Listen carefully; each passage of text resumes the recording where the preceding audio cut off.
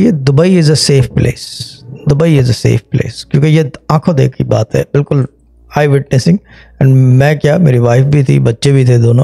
तो सब देख रहे थे। छोटा वाला तो खैर इतना ज़्यादा बॉदर नहीं है उसको। लेकिन वाइफ और मुझे जो है, हम दोनों कंसर्न हमने कहा, देखें क्या है? एक, हम बैठे हुए थे स्टार बक्स पे जे बी आर पे। और उसके बाद ये हुआ कि काफ़ी बिज़ी था टेबल भरी हुई थी बाहर वेदर अच्छा था।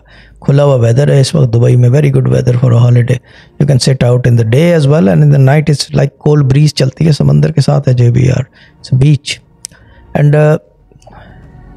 लोग कुछ खड़े हुए थे, कोई जैसे होता है कि टेबल मिले या कुछ। हम बैठे हुए थे कॉफ़ी पी रहे थे।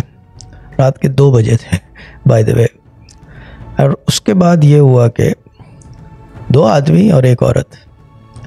दो आदमी और एक औरत आए और थोड़ा सा अंदर आ ही रहे थे, यानी कि वो कुर्सियों के बीच में in the front open area एक टेबल खाली हो गई। तीन चार कुर्सियाँ थी तो औरत ने अपना पर्स बीच में रख दिया। And then without even hesitation और thinking they walked in to Starbucks to give their order वो पर्स वहाँ तकरीबन 15 to 20 minutes as it is रखा रहा। और उस रखे हुए में वाइफ और हम यही डिस्कस करते रहे। मैंने कहा, देख लेना, कोई हिलाएगा नहीं उस पर्स को। किसी की ज़रूरत नहीं है हिला दे।